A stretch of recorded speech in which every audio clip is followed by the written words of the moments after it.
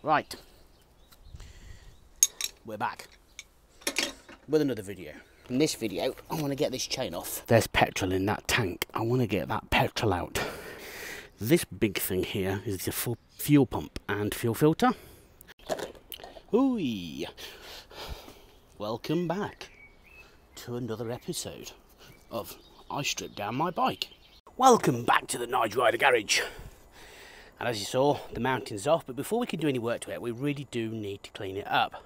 I also need to strip off the centre stand, and I need to clean it up. So in this video, we're going to do a spot of cleaning.